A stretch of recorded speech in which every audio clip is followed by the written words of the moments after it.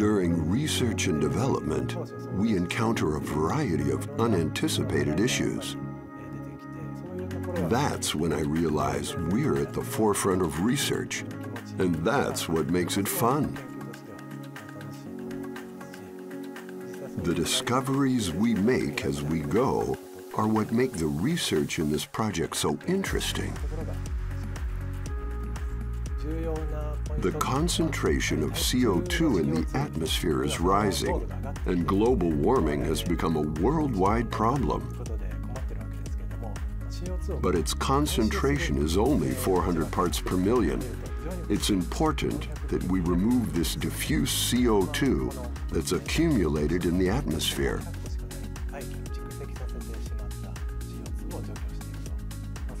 In that sense, it's an extremely challenging goal. But that's what we're focusing on in our research and development.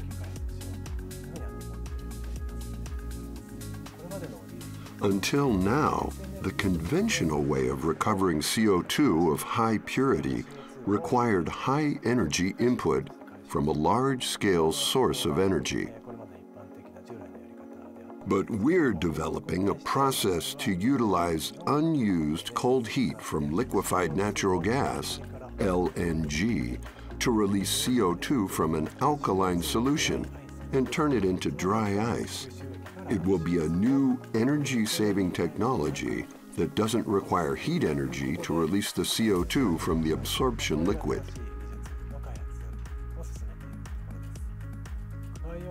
CryoDAC is a method of direct air capture, DAC, at low temperatures.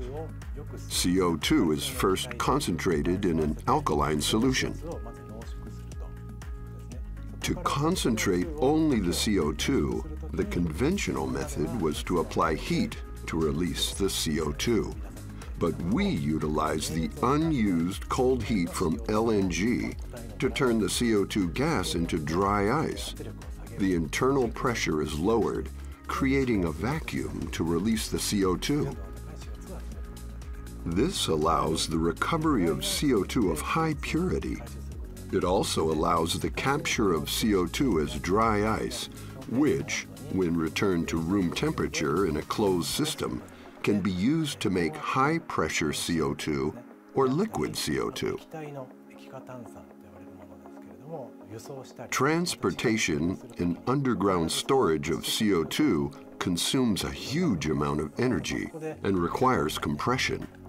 A major feature of our system is that it allows the manufacturing of high-pressure CO2 or liquid CO2 without the need for compression. There has always been technology for cooling and separating CO2, but our idea is unique in that we rely on an absorption liquid to concentrate the CO2, then use cold heat to release it. We're currently designing the details of a bench scale facility to realize this process on a small scale.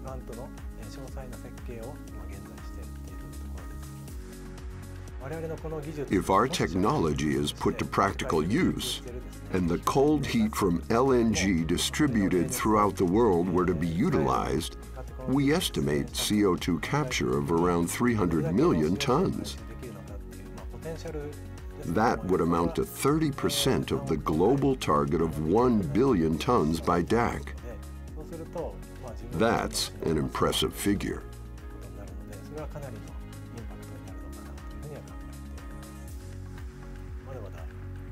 But we still face many obstacles. We hope to make steady progress by overcoming these issues one by one. We'll realize energy efficiency in direct air capture through unique technology based on the utilization of unused cold heat.